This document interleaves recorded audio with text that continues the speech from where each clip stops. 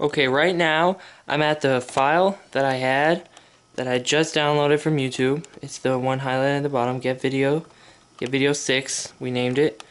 So what you're going to do is you're going to highlight it and you're going to put it in this MP4 converter that I downloaded off the internet. I'll show you the website in a second just so you know what it looks like. should have blue on the sides and everything the website, the URL, I will post on video on the video information is at, but the website should look like this. You should click on free download, which is right in the middle. Free download. You can use it.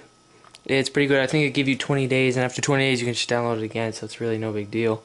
Alright, so what you do then is you take your your video and simply simply copy, like paste it or whatever you want to do. Just put it in there. And it'll show up, get video 6. I have another thing on the list, I'll just remove that. Okay, so get video 6. I highlighted it.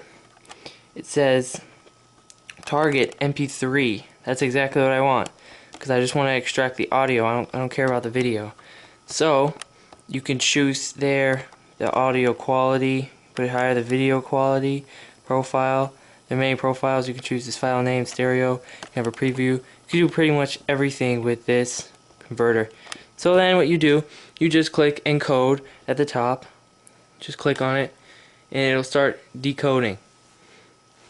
It, it, usually so this usually pops up and they're asking you like okay when are you gonna buy it you say yeah I'll buy it later to make them think you're actually gonna buy it I mean unless you probably are I don't know but I don't want it so then it'll start it'll start loading, start downloading.